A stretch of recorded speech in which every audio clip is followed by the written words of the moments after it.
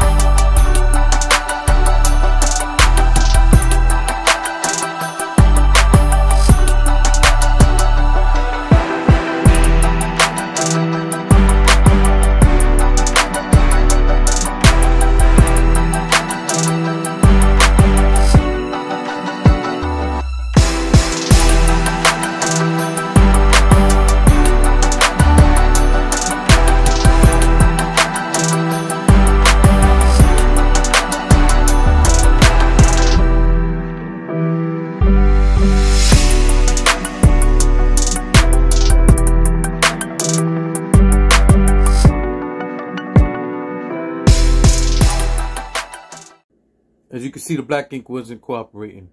Luckily for me, some of the pattern was still left there.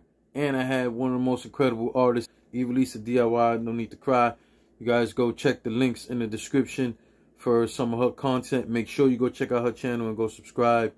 Um because um, without her, these would not have been completed, let alone completed on time. So wherever there wasn't a pattern, she then created one